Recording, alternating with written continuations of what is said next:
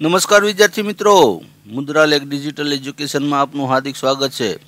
મિત્રો, આપણે ધોરણ બાર, જેની અંદર વિષય ઇકોનોમિક્સ, એટલે કે અર્થશાસ્ત્રમાં, વ્રજ પેપર સેટ જે બીજા નંબરનું પેપર સેટ છે, એનો વિભાગ એ અને વિભાગ બી, એટલે કે એમસીક્યુ અને એક બે વાક્યના પ્રશ્નનું સોલ્યુશન કરીશું. તો મિત્રો, વિભાગ એની અંદર નવી પેપર સ્ટાઇલ પ્રમાણે પ્રશ્ન ક્રમાંક એકથી વીસ સુધીના પ્રશ્નની અંદર તમને વિકલ્પોવાળા પ્રશ્ન આપેલા છે. તો એમાં ચાર વિકલ્પમાંથી યોગ્ય વિકલ્પ પસંદ કરી અને ઉત્તર લખવાનો છે. દરેકનો એક ગુણ છે. આખો વિભાગ વીસ ગુણનો છે. તો આપણે પહેલો જ પ્રશ્ન જોઈએ. આલેખ એ કયા પ્રકારના વિતરણ માટે દોરવામાં આવે છે? આપણે અહીંયા સાચો શબ્દ યાદ રાખશું. એ, બી એવું કંઈ યાદ નહીં રાખીએ. તો એ આલેખ એ સતત પ્રકારની જ્યારે માહિતી કે વિતરણ હોય ત્યારે દોરવામાં આવે છે. જો મિત્રો તમે અમારી ચેનલમાં નવા હો તો સબસ્ક્રાઈબ કરો અને તમારા મિત્રોને શેર કરો. અમે તમને દરરોજ નવું નવું અપડેટ વીડિયો લેક્ચર દ્વારા આપતા રહીશું. બીજો પ્રશ્ન જોઈએ. બે હજાર ચૌદમાં માનવ વિકાસ એંક અહેવાલ મુજબ ભારતની માથાદીઠ આવક કેટલા ડોલર હતી? તો બે હજાર ચૌદમાં ભારતની માનવ વિકાસ આંકના અહેવાલ મુજબ ચોપનસો ને સત્તાણું ડોલર હતી. સોરી મિત્રો, અહીંયા થોડીક પ્રિન્ટિંગ મિસ્ટેક હોય એવું. ના ના, બરોબર છે ચોપનસો ને સત્તાણું ડોલર. ત્યારબાદ આવે છે ત્રણ. ઈસવીસન બે હજાર ચૌદમાં ભારતનો માનવ વિકાસ આંક કેટલો હતો? આ પ્રશ્ન આગળ પણ આવી ગયો છે મિત્રો. તો ઈસવીસન બે હજાર ચૌદની અંદર ઝીરો પોઈન્ટ છસો ને નવ માનવ વિકાસ આંક હતો. ચાર. સતત અને સર્વગ્રાહી ભાવ વધારાની સ્થિતિમાં નાણાંનું મૂલ્ય ઘટે છે. ખાલી જગ્યા ટાઈપનું છે. કારણ કે સતત અને સર્વગ્રહી ભાવ વધારામાં નાણાંના મૂલ્યની ઘટાડો થાય છે. પાંચ.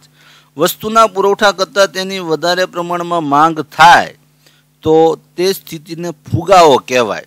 તો આ વ્યાખ્યા કયા અર્થશાસ્ત્રી દ્વારા આપવામાં આવી છે? વ્યાખ્યા યાદ રાખજો. વસ્તુના પુરવઠા કરતાં તેની વધારે પ્રમાણમાં માંગ થાય, તો આને શું કહેવાય? ફુગાવો. તો આ વ્યાખ્યા છે એ ડૉક્ટર એપી લર્નર દ્વારા આપવામાં આવી છે. છ. આરબીઆઈ અન્ય બેંકો પાસેથી અત્યંત ટૂંકા સમયનું ધિરાણ લે, તો તેના દરને શું કહેવાય? તો આરબીઆઈ જ્યારે અચળ દુકાન લે ત્યારે એને રિવર્સ રેપો રેટ અને જ્યારે આરબીઆઈ અન્ય બેંકને કે વેપારી બેંકને આપે તો એને એટલો શબ્દ કહેવાય રેપો રેટ પણ જ્યારે આરબીઆઈ લે છે, ત્યારે એને રિવર્સ રેપો રેટ કહેવાય. અને જ્યારે આરબીઆઈ આપે છે, ત્યારે એને રેપો રેટ તરીકે ઓળખવામાં આવે છે. નીચેનામાંથી ક્યુ સાધન ગુણાત્મક નથી.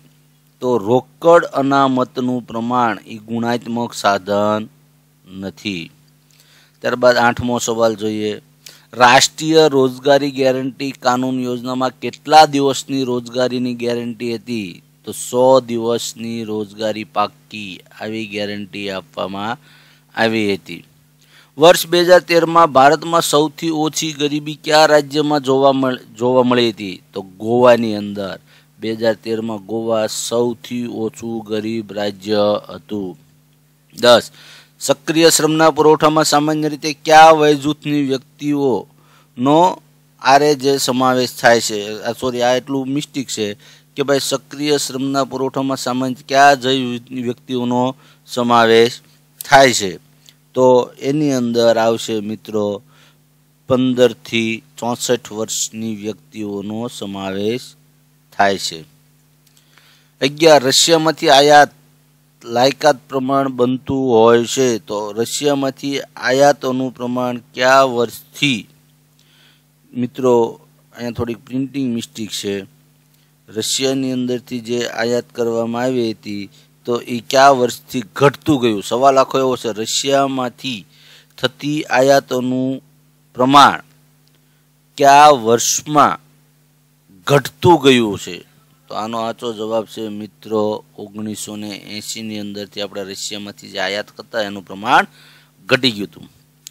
બાર, દીનદયાળ શિક્ષણ. દીનદયાળ ઉપાધ્યાય ગ્રામીણ કૌશલ્ય યોજના ક્યારે શરૂ કરવામાં આવી હતી? દીનદયાળ અહીંયા આવશે ગ્રામીણ. ગ્રામીણ કૌશલ્ય યોજના. ક્યારે શરૂ કરવામાં આવી હતી. તો દીનદયાળ ગ્રામીણ કૌશલ્ય યોજના પચીસ સપ્ટેમ્બર બે હજાર ચૌદમાં શરૂ કરવામાં આવી હતી. તેર વસ્તી વધારાની દ્રષ્ટિએ કયા વર્ષને મહાવિભાજક વર્ષ તરીકે ઓળખવામાં આવે છે? તો ઓગણીસો ને એકવીસના વર્ષને આ સવાલ પણ આગળ આપણે પૂછાઈ ગયો. ચૌદ. ઈસવીસન બે હજાર ચૌદમાં ભારતની કુલ વસ્તી કેટલી હતી? તો ઈસવીસન બે હજાર ચૌદની અંદર, સોરી, અગિયારમાં ભારતની કુલ વસ્તી કેટલી હતી? તો એકસો એકવીસ પોઈન્ટ બે કરોડ હતી. પંદર. ખેત ઉત્પાદનો ગુણવત્તાની ખાતરી આપનાર ચિહ્ન કયું? તો ખેત ઉત્પાદન ગુણવત્તાની ખાતરી આપતું ચિહ્ન છે એગમાર્ક ખેત પેદાશ પાછળ એગમાર્ક લાગે. નીચેની બાબતોનું કારણ પ્રશ્ન માટે વેપાર કરવાનું નથી. અહીંયા આપણને ચાર કારણ આપ્યા છે. એમાંથી એક કારણ છે એ વેપાર કરવા માટે નથી. તો રાજકીય કારણ છે એ વેપાર માટેનું કારણ નથી. સત્તર. રૂપિયાનું અવમૂલ્ય એટલે શું?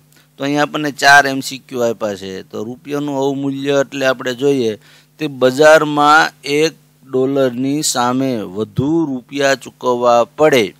આવી જ્યારે બજારની પરિસ્થિતિ હોય ત્યારે એને રૂપિયાનું અવમૂલ્ય કહેવાય, કારણ કે આપણે ડોલર સામે વધારે રૂપિયા ચૂકવવા પડે છે. અઢાર, નીચેના અંદરથી કયો ઉદ્યોગ મોટા પાયાનો ઉદ્યોગ ગણાય? આપણને ચાર ઉદ્યોગ આપ્યા છે, તો એમાં લોખંડ ઉદ્યોગ છે, એ મોટા પાયાનો ઉદ્યોગ ગણાય.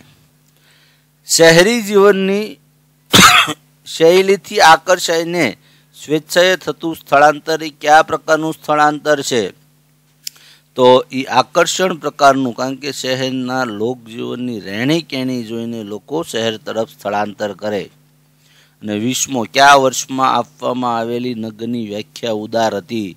તો ઓગણીસો ને એકાવનની અંદર જે નગરની વ્યાખ્યા આપવામાં આવી હતી ઉદાર હતી. એટલે કે એમાં થોડા ઘણા છૂટછાટો સાથે આપણે એને નગર ગણી લેતા હતા. કારણ કે એ સમયે જે આપણે વિકાસ સાધવાનો બાકી હતો અને હાવ ગરીબીની દારૂણ પરિસ્થિતિમાં હતા.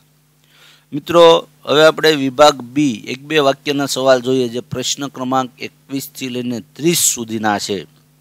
તો એમાં પહેલો પ્રશ્ન છે, વૃત્તાંશ એટલે શું? અને વૃત્તાંશ શોધવાનું સૂત્ર આપો.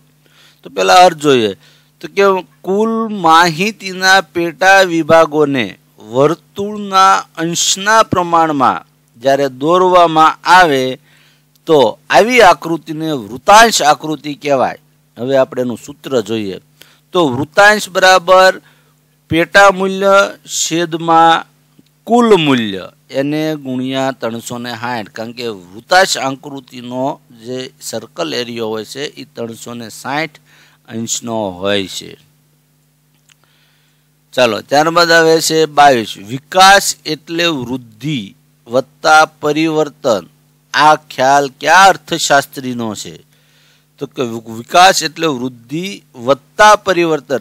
આ ખ્યાલ જીરાલ્ડ મેયર નામના અર્થશાસ્ત્રીનો છે. કોલ મની એટલે શું? તો કે ટૂંકા ગાળાનું ધિરાણ.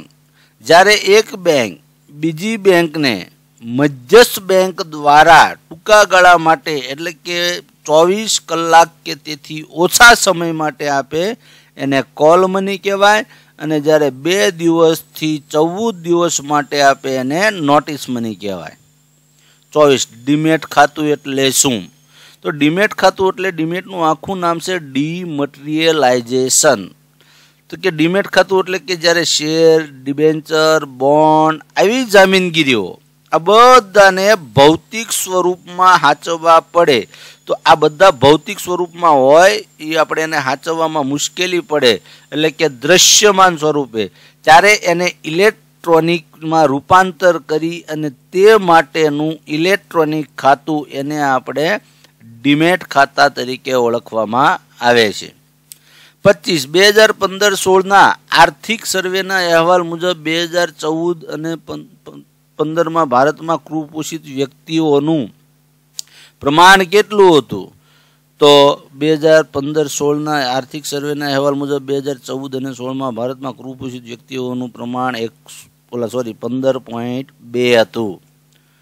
છવ્વીસમો સવાલ, બાળ મૃત્યુ દર એટલે શું? તો આનો જવાબ આપણે મિત્રો પાછળના પેજ ઉપર જોઈએ કે દર વર્ષે પ્રત્યેક હજાર જીવતા જન્મેલા બાળકોમાં એક વર્ષ સુધીમાં, એટલે કે બાર મહિના સુધીમાં મૃત્યુ પામતા બાળકોનું પ્રમાણ અને બાળ મૃત્યુ દર કહેવાય.